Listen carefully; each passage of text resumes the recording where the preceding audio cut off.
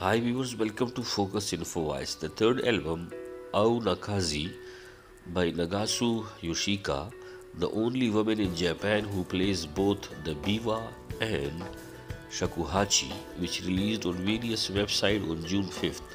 This album is a newly written work centered on the shakuhachi and biwa. Six of the total eight songs, including the bonus track, instrumental, but you can enjoy talent as a singer on Ao no Kaze and Mikazuki. All the lyrics and music were written by Nagasu herself, and it is a masterpiece that pushes Japanese instrument forward with a new interpretation.